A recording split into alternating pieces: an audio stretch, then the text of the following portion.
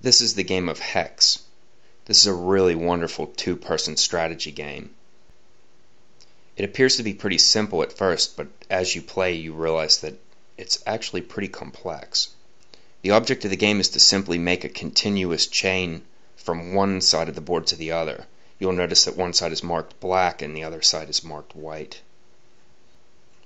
The game was originally introduced by Piet Hein, I don't know if I'm pronouncing that correctly, right around the time of World War II. He was also the inventor of the Soma Cube, which is a pretty interesting three-dimensional block puzzle. Later the game was independently invented by John Nash. You probably remember him from the movie A Beautiful Mind. Apparently it became popular by the students playing it on the bathroom floor, and they called it John which may have been in reference to the fact that they played it in the John, or it could have been because it was John Nash who invented the game. In either case, this is a wonderfully addictive and simple game, and I highly recommend that you make a board.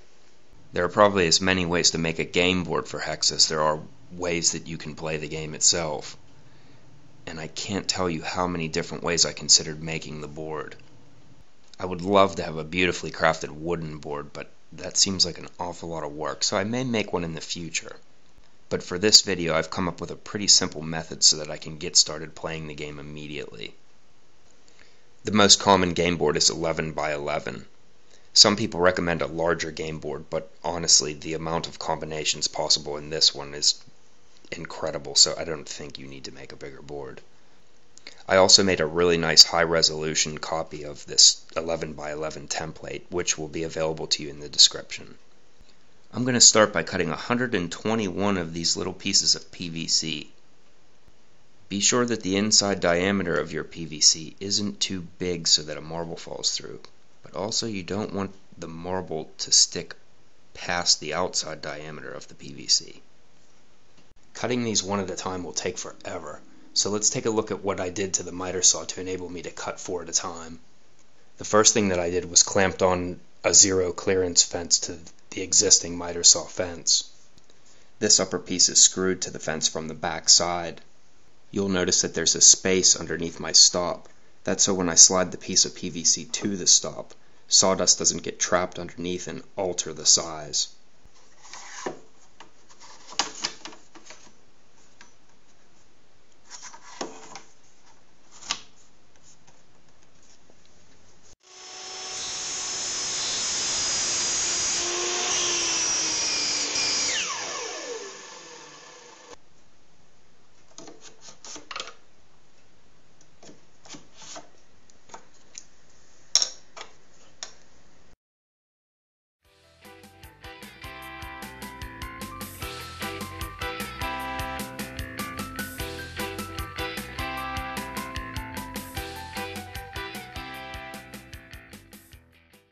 Now it's just a matter of gluing them all together with some PVC cement. I'm working on a piece of glass to keep the bottom nice and flat.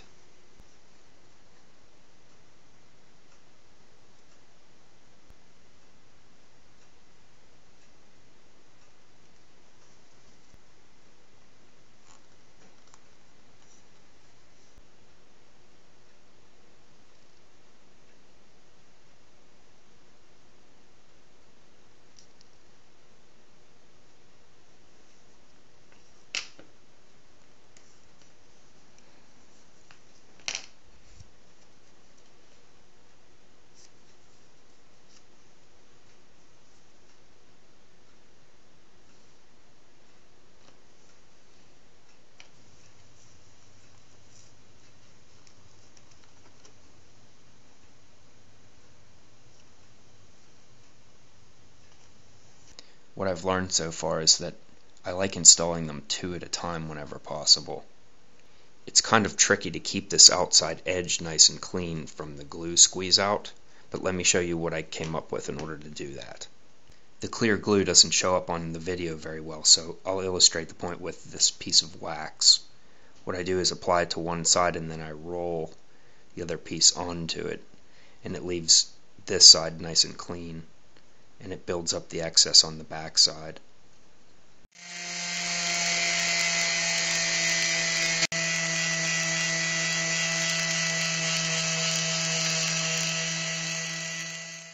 There's a few more quick things I'd like to mention about this project.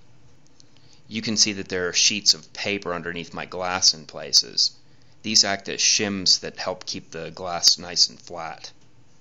You also may be wondering about the strength of the bond. That's what this dust is for. It's left over from when I palm sanded it, and if you mix it with the PVC glue, it makes kind of a two-part epoxy that you can use to apply in the weaker parts, like here where this piece only has two glue connections that hold it together. Well, here's the finished board. And now we're going to play a game for you. We had quite a few practice sessions off camera, but whoever wins this match will be immortalized as the champion on the YouTube video. Go ahead.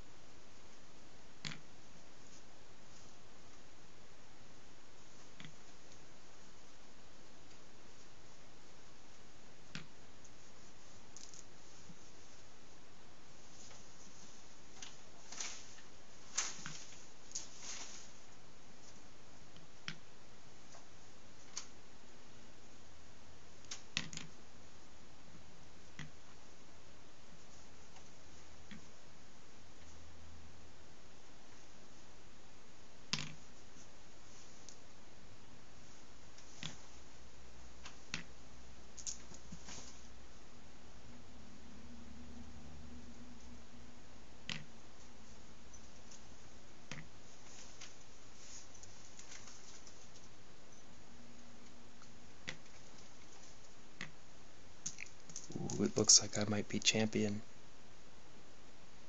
I like this board though, but I still think I want to make a wooden one. Not tonight.